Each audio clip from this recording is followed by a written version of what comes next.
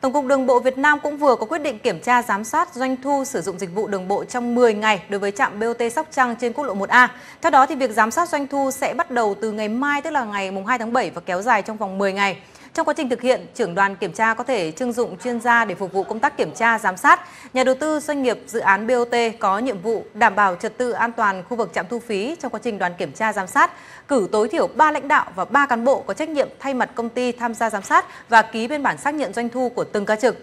Từ khi đi vào thu phí, trạm BOT này đã liên tiếp gặp phải sự phản ứng của người dân và lái xe, nhiều lần đã phải xả trạm.